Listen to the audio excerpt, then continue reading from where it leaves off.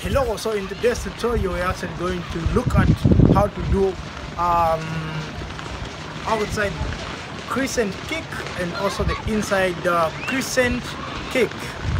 Okay so we'll start with the outside one. So the outside one all you have to do is to work on your the way you lift your knee up. So the way you set your knee up it is actually what determines whether the kick is going to be high or it is actually going to be low so the secret here is actually the knee.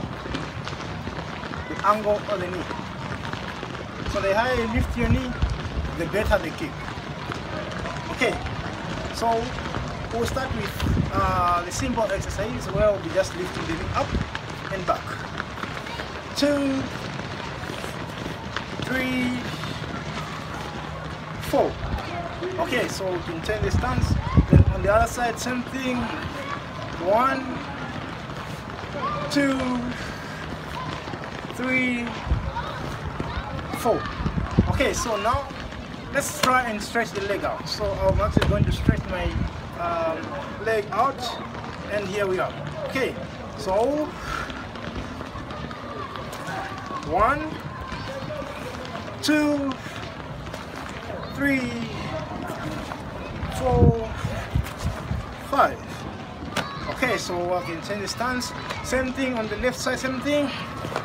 One two three four five. Okay. First now we do the inside. So same thing. It's just coming up.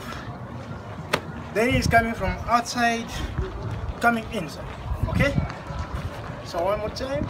Then is coming all the way from outside coming in. Okay so i'm going to do that. One and back. Two three four five. You can change the stance. Same thing on the other side. One two three four five okay Us. thank you so much everyone Us.